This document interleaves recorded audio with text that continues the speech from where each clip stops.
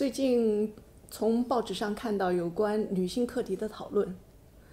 所以也非常高兴今天有机会哈、和大家一起来讨论这个话题。嗯但其实呢，我觉得我遇到一件非常有趣的事情。嗯，当我收到这个呃简报的时候呢，嗯，我认认真真的把这个简报读了一遍。嗯，我不知道将会讨论什么话题。哦，那然后呢，我又用心的呢，就把这个简报呢又分发给了我十位朋友。嗯我这十位朋友呢，有男有女，嗯但是我认为他们都是有想法的，嗯对社会有关注的，学有所成，或者是事业有成的。嗯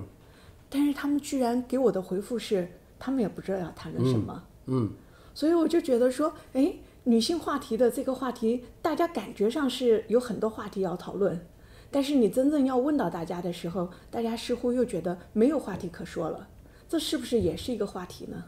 这是新加坡的一个现象了。因为新加坡大家虽然有时候你在选举的时候看到很多抱怨呢，事实上他们的下意识哈，大部分的人哦都认为新加坡的体制基本上啊还是相当专业的，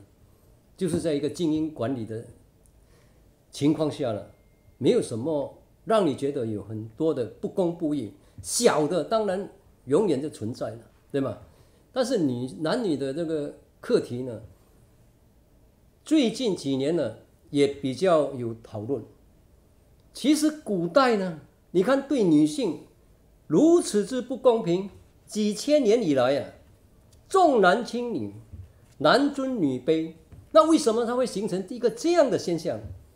我们应该讲说，我们的老祖宗了，从远古时代的，从盘古时代的，或者说到农业时代的，都个都是以体力为主的那种体制，所以男男性那种那个肌肉比较发达。到了工业，到了商业的时代呢，今天是一种高度商业化的城市的那种生活方式呢。今天已经证明了，都是以脑力作为一个标准，脑力的竞争。而脑力的竞争，按照 Mensa 的那个调查呢，男女总体是一样的，所以必须接受一个说，今天呢，或者说古代的那一些男尊女卑伪命题，重男轻女就是以前呢，我在农村需要多一点男丁，在耕田需要体力啊，扛水也扛得比较重一点，这样的观念呢已经过去了，必须接受在城市里面说。中国那个毛主席讲“妇女可顶半边天”，中国的农村还是重男轻女，可是城市里面，你看那些受高等教育的，其实已经大致上不分上下，而且基本上呢，如果从亚洲来说呢，新加坡男女这这一块呢的平等，据说还排第一名。所以你刚刚讲的这些，因为他们已经没有这种意识了。如果你觉得很不公平、很不平等的话，这些声音就出来了。所以他们觉得没有这个危机意识啊，所以就会这样这样的现象，正常。我还倒非常同意你刚才提到的一个观点，就是从历史上来讲的话，有一些呃，可以讲说是封建的也好啦，或者是一些传统的一些观念也好，嗯，那然后近代以来，呃，这个社会呢越来越商业化或者城市化，结果商业化和城市化呢，更大程度上体现了人的啊、这个脑力劳动，对对，又或者的话呢，像刚才所说的，新加坡社会呢，一定程度上这个精英治理的，它的这个制度啊，它的这个社会环境啊对，其实带给了更大的一个公平性，对以至于大家觉得没有话题可讨论。对，所以我其实从中呢就发现到一个很重要的问题，就是观念很重要，对制度建设很重要。对如果要是说进行讨论的话，也许是我们会期待一个更加优质的精英治理。对对对对，你像观念更加优质的是顶层设置。是是，那这样来讲的话呢，可能这种情形或者这种话题就显得更加的呃无话可说。对对对，因为观念呢都要与时俱进的，西方已经早就在这一块他们走在前面了，我们东方啊还在处在一个有些地方已经跟上去了，有些还是非常传统。你看西方，我们讲男主外女主内，男主外女主内，那个古代的时候要去打猎的时候，那个做父亲的、做丈夫的去外面打猎，那个妇女这个做妈妈的就在山洞里面，对不对？养儿育女，对不对？照顾一群嘛。男主外女主内，到今天呢，西方已经打破了这个。所以有些是叫做住家丈夫、住家男人，因为他他的太太收入比他高，哎，能力就比他强嘛，对不对？他接受。我们东方还处在一种半梦半醒上，有一些还传统观念，哎呀，好像面子过不去。其实这个没有什么面子的问题。当然了，又话说回来，面对生育率呢，所以女主外的话，又产生了另外一个问题。所以男女性哈，在社会角色这一块哈，也不要矫枉过正了。就是说，有些地方哈适合妇女朋友的，有些地方适合呃男性去扮演的。比如说，我们讲做生意了，做生意很多这些应酬这一块呢，妇女就比较比较不方便，所以有这个这一方面的一些问题。那么其他你要很细腻的去分析的话，当然男人比较粗枝大叶，妇女比较细心，这个就是一种也是人类的进化史今天造成的一种现象，也不需要去改变。但是会不会逐代在改变？会的，但是不会那么快哦。应该开放、开明的去看待这些这些变化。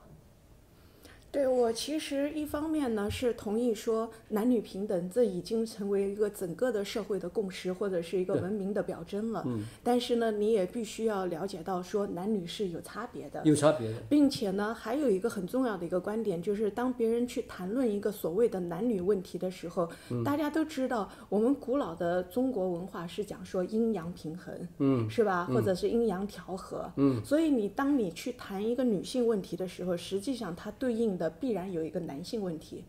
当谈男性问题的时候，其实必然也会有一个女性的问题。对，所以大家是一个相互关系，而不是独立的存在。对对对对对。所以我觉得在新加坡，如果要是真的说男女平等或者不平等的话，我其实我是觉得，当我们鼓励更大的一个女性的这个权益，或者是女性的平等的时候，就包括像我们看到的统计数据，说新加坡的话，目前的女性的识字率达到百分之九十六，比过去的十年增加了十个百分点。那然后又说我们女性在过去的这个几十年时间里面，我们的就业率又逐步的提升，嗯，又达到了一个可以讲说是国际的一个水准，嗯，那包括现在的这个国会里面的女性议员的话，她也是超过了呃全球的一些相关比例，嗯，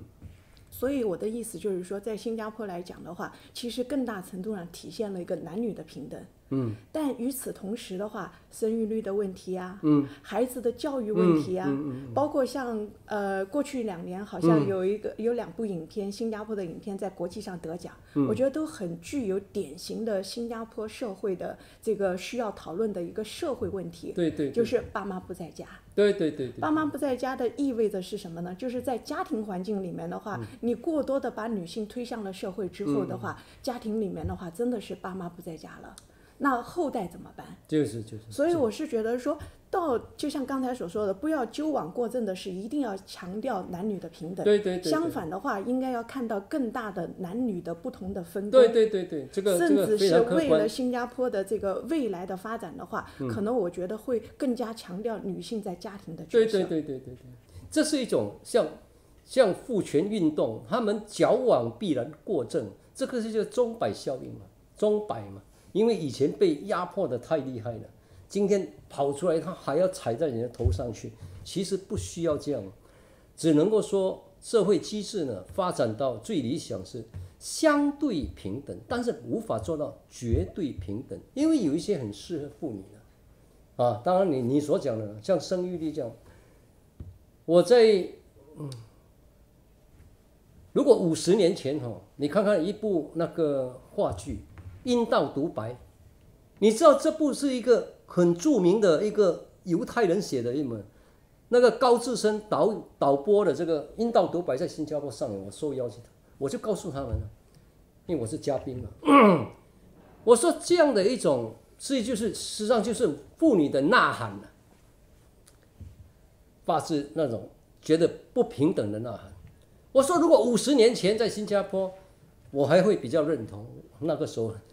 到了十年前嘛，为什么我讲五十年前？因为五十年前我家里有那个石磨哈，家家户户哈跑来我们家过过就就过节的时候，那带着那个米哈，那个石磨哈，我们整个村只有我们家有。我们这些小男孩呢，平时没有人用，我们装上去也没有问题。嗯，堂妹堂姐哇，被那些长辈哈骂，所以你看那个时候的传统观念哈，都是重男轻女这样的一个情况。所以这种哈控诉、这种呐喊呢，如果在很早期呢，的确我认为呢，应该对这个社会有一个爆发力。但是到了已经。亚洲也发展起来了，已经跟世界接轨了，已经相当平等了。所以说，相对来说已经平等。所以这样的一个话剧呢，它的那个震撼力，我认为已经比较没有那么强了。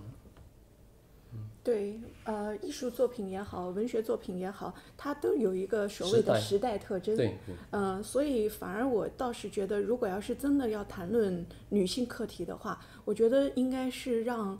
更多的适合的女性回归家庭，或者说让更多的一些女性的话呢，她们可能从她们的这种呃，为了自己的孩子，为了自己的家庭啊，怎么样能够有一个更好的平衡，从这一点来体谅她们。嗯。啊，因为在新加坡来讲的话呢，这个生产力、竞争力或者是社会的这种竞争力啊，压力的大家都非常的大，所以变成是你如果要是不呃推崇这样的一个女性平等意识的话，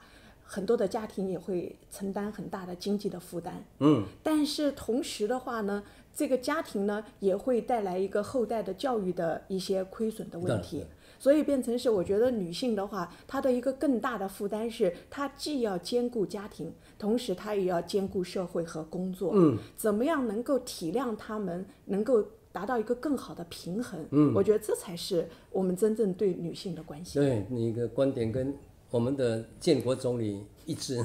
这个的确是有先见之明，这个的确是一个值得我们支持的。